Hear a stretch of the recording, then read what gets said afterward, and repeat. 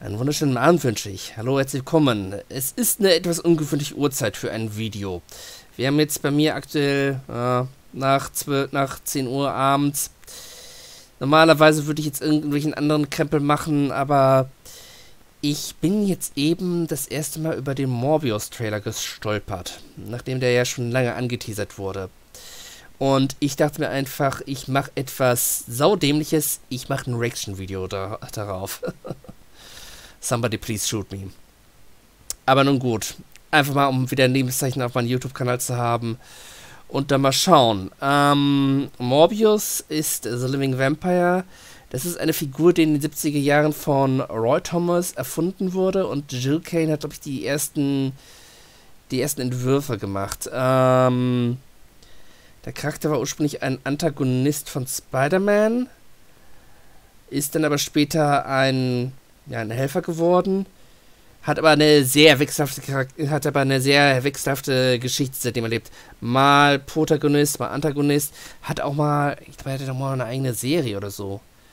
Aber das weiß ich nicht. Ähm, aber auf jeden Fall, es ist kein Charakter, von dem ich jetzt erwarten würde, dass da ein Film zu gemacht wird. Aber man höre, staune und sehe, Sony hat da anscheinend jetzt da was gemacht mit einem Cast, ich weiß nur die ersten beiden Schauspieler, aber Jared Leto und Matt Smith sind nun keine Leute, die unbekannt sind. Im Gegenteil, Matt Smith vor allen Dingen ist bekannt als Doctor Who. Der elfte Doktor war er. Einer der besten Doktoren meiner Meinung nach. Während Jared Leto ja nicht nur äh, ähm, ein großartiger, ein bekannter Schauspieler ist, sondern auch ein bekannter Musiker. Jetzt weiß ich leider nur die Namen der Band nicht. Asche auf mein Haupt. Ich hätte vorher recherchieren sollen. Aber nun gut, das ist alles relativ spontan und ja. Ähm, übrigens, es wird diese Woche noch ein weiteres Video von mir kommen. Ich weiß noch nicht wann. Es wird ein Comic Review Video, äh, Video werden. Und zwar hat der gute Omöpo auf meinem Discord-Server äh, eine bestimmte Serie vorgeschlagen. Ich habe mir jetzt diese Serie die Tage durchgelesen, komplett. Ich werde da nochmal drüber gucken und dann werde ich da meine Meinung nach zu verfassen und dann könnt ihr euch darauf freuen. Es wird interessant werden. Es wird definitiv und sicherlich interessant werden. Und es würde mich freuen, wenn ihr dann halt einschaltet und vielleicht auch mal irgendwie, ja, darauf reagieren würdet. Aber egal genug gequasselt. Ich wechsle jetzt die 10 und würde einfach mal sagen, ich drücke auf Start. Ah, ich bin gespannt drauf.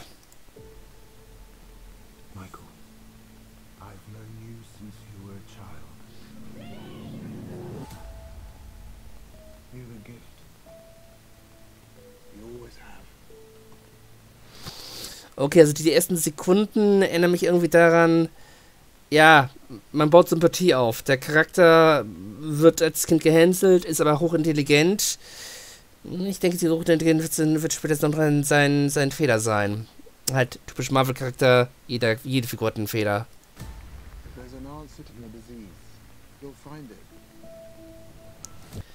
Nobelpreis sogar. Oh, interessant.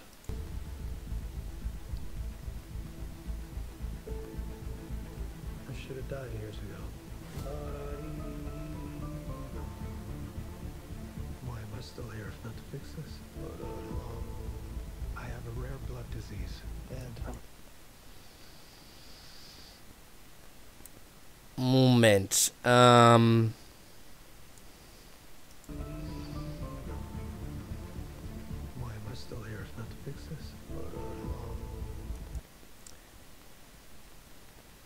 Sterbehilfe? Hat er der wirklich der diesem Mädchen Sterbehilfe geleistet? Interessant. Interessant.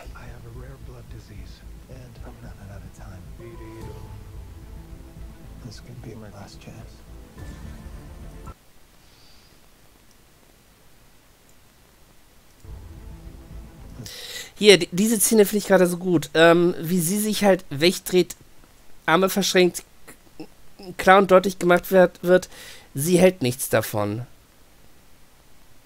Antagonistin? Sekundärer Charakter? Ich weiß es nicht. Mir kommt übrigens irgendwie auch die, das Gesicht der Schauspielerin bekannt vor. Keine Ahnung. Be my last chance.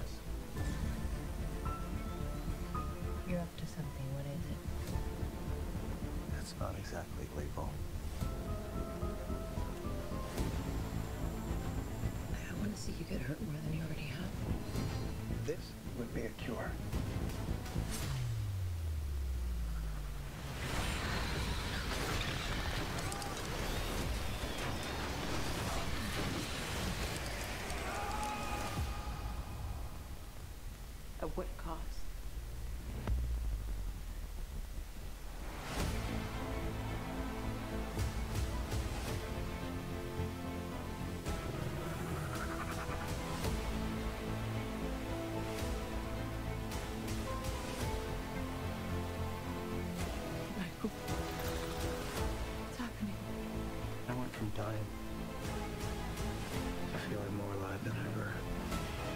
strength and speed.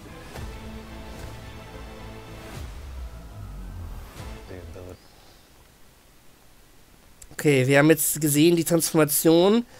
Er noch eben ein physisches Wrack. Und jetzt hier, ähm, ja, durchtrainiert. Und dann noch die, die sehen wir auch die ersten Special Effects. Dieser, dieser Rauchschwaden. Moment, kurz wieder zurückgehen. Übrigens interessant, dass hier ein, ist das ein Sarkophagus, den er da in den Hu- hochhebt? Keine Ahnung. Das erinnert mich jetzt an äh, X-Men 2. Nightcrawler. Halt dieses Teleportieren. Da hat Sony sich quasi an Fox orientiert.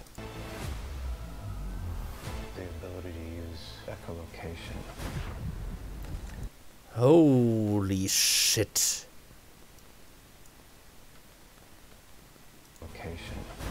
Das ist genial. Das ist richtig genial.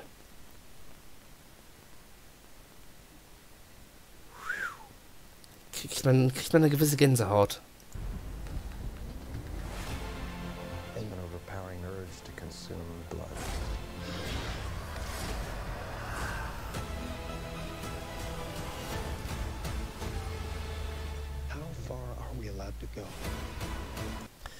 Ah. Sekunde. How far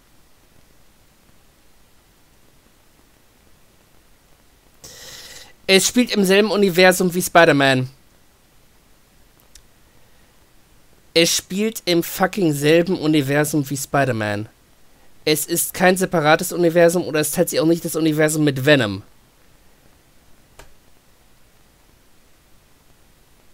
Morbius ist Teil des MCUs, des Marvel Cinematic Universes.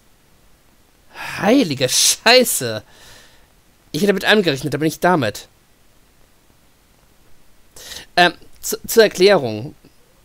Spoiler für diejenigen, die Far From Home noch nicht gesehen haben. Wobei der Film ist jetzt auch schon seit, ich weiß nicht, Ewigkeiten draußen. Far From Home endete damit, dass halt ähm, Spider-Man quasi beschuldigt wurde, dass er Mysterio ermordet hat. Was aber komplett erlogen und erstunken ist, weil Mysterio, ich glaube, er hat, selber, er begangen oder so etwas, irgendwas, irgendwas war es. Und das, er hat es halt manipuliert. Scheiße, Mann. Ich hätte echt mit allen gerechnet, aber nicht damit. Das ist für mich die größte Überraschung. Wait, Matt Smith. Muss mir nochmal angucken.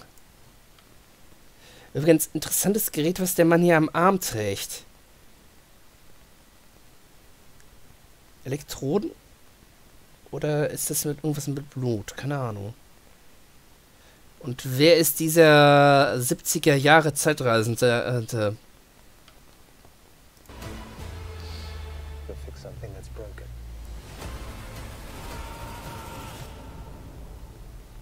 Until the remedy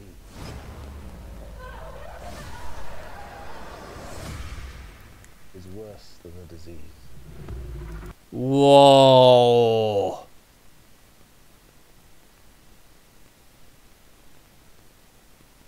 Yes. Yes.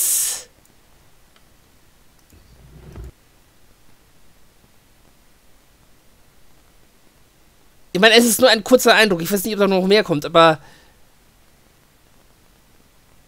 haben die wirklich das Design von Morbius übernommen aus den Comics?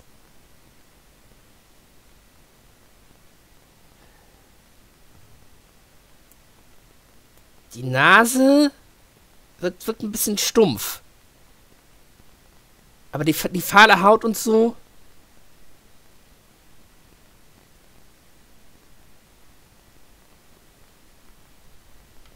Ja.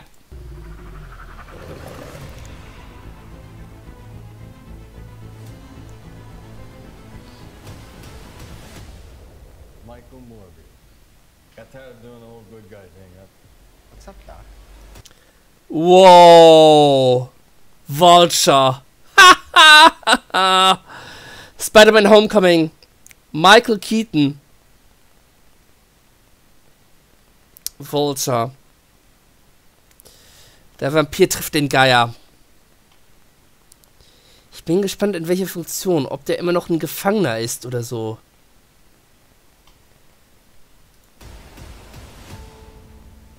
Übrigens, scheiß Spoiler-Video. Egal, egal. Egal, Leute. Egal. Ähm. Ich muss kurz gucken. Äh, Morbius the Living Vampire. Bilder.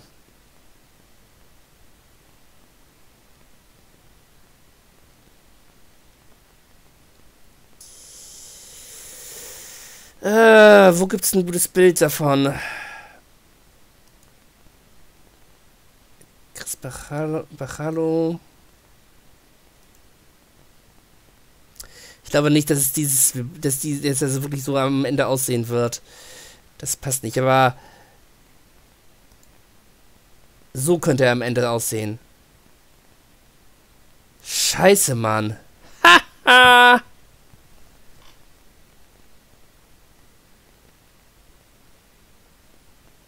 ich glaube wirklich, das wird etwas. Äh, klar, es ist erstmal nur ein Teaser-Trailer. Es ist erstmal nur ein, ein, ein, ein bisschen den Mund wässern und so, aber der Teaser-Trailer war schon gut.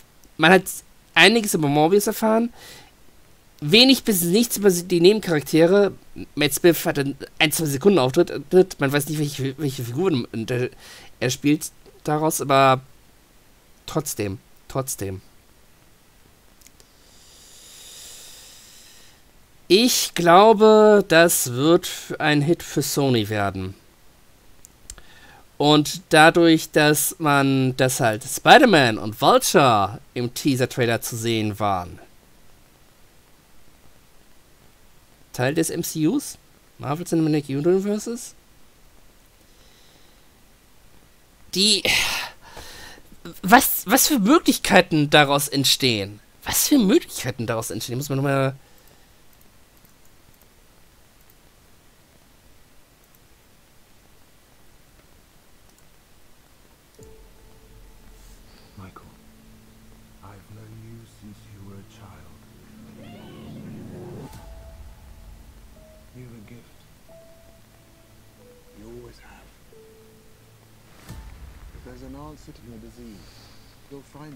Mmh, dann kannst du das beobachten.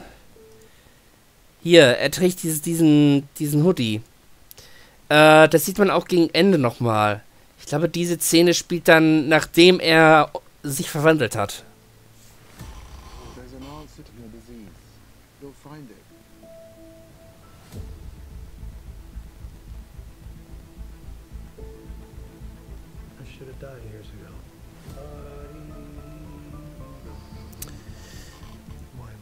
Ähm, da, da, da, da, da. Also Musik scheint, scheint für Mobius eine große Rolle spielen, zu, zu spielen.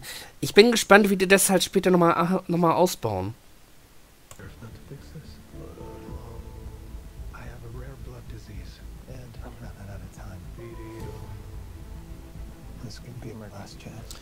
Wer ist diese Schauspielerin, verdammt nochmal?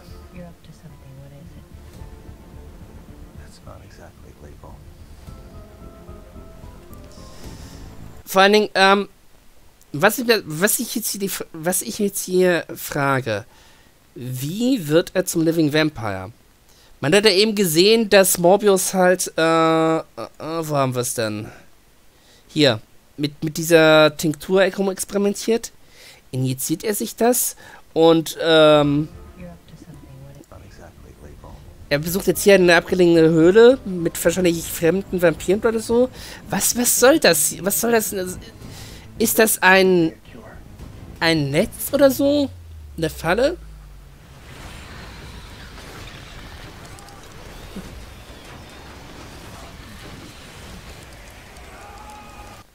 Und dann wird er anscheinend gebissen. Vielleicht setzt das die Transformation ein.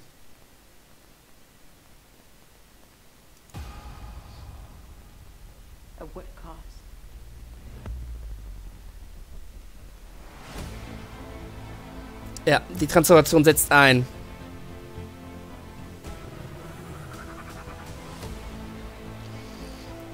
Bro, das war, ja, ja, Sony. Sony hat ja einen Code-Deal mit äh, Marvel. Aber was soll diese Szene sein mit den Fledermäusen? Verwandelt er sich in eine Fledermaus?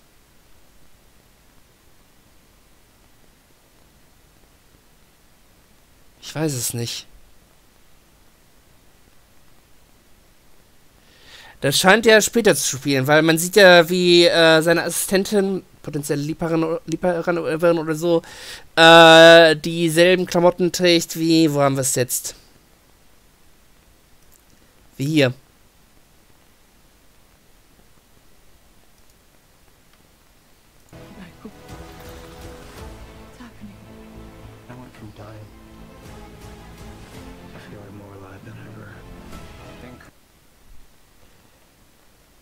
Also wenn das wirklich, das sieht aus wie, ja, es sieht aus wie ein, ein mittelalterlicher Sarg.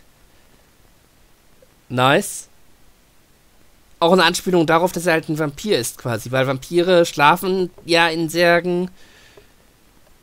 Ist das ein Schädel? Okay.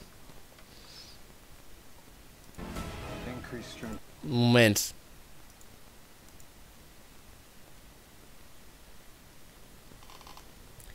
Ist das ein Glas?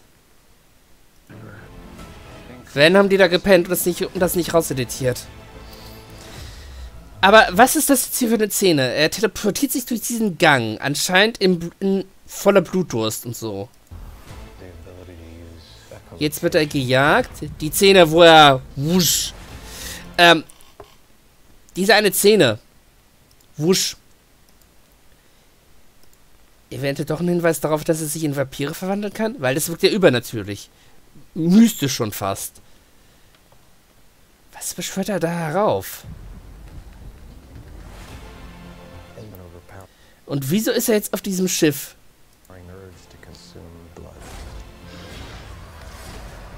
Er tötet all diese Leute.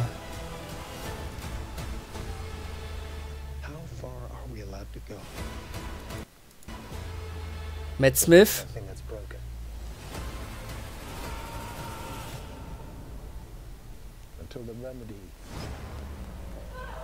Was soll diese Szene? Da, jetzt Morbius.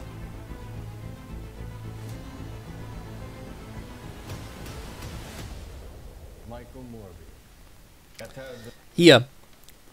Das trug er auch zu Beginn des Trailers. Also spielt das die Szene zu Beginn halt gegen Ende oder so.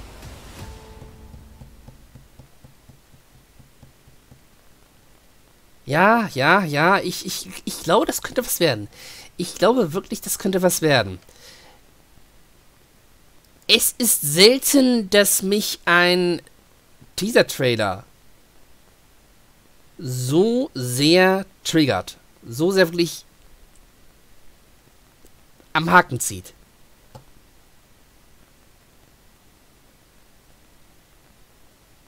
ich freue mich auf den Film. Also ich freue mich jetzt wirklich auf den Film. Noch mehr als ähm, auf Avengers Endgame. Verdammt. Ich hätte, ich hätte nicht gedacht, dass das wirklich geschieht. Aber nun gut, so viel dazu. Wie gesagt, diese Woche noch, noch ein Comic-Review von mir und in dem Sinne, Leute, vielen herzlichen Dank fürs Zuschauen und ähm, ja, hinterlasst ein Abo, was auch immer. Gute Nacht und bis dann. Ciao.